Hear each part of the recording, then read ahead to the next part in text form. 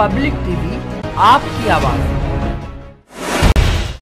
देश और प्रदेश में प्रधानमंत्री नरेंद्र मोदी का जन्मदिन धूमधाम के साथ मनाया जा रहा है। इसी कड़ी में मुरादाबाद में भी समाजसेवी संस्थाओं के साथ साथ पार्टी के नेताओं ने प्रधानमंत्री नरेंद्र मोदी का जन्मदिन धूमधाम के साथ मनाया।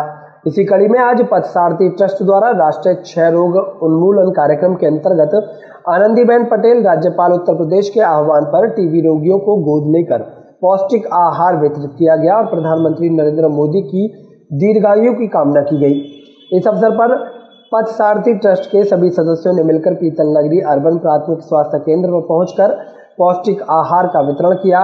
पथ सारथी ट्रस्ट के अध्यक्ष रवि प्रकाश राय, अंकित रस्तोगी, अमृत अग्रवाल, अखिलेश शर्मा, दीपक कुमार के साथ और भी लोग मौजूद रहे। में टाइम से खाएँ टाइम से करें और अपनी टाइम से कराएँ।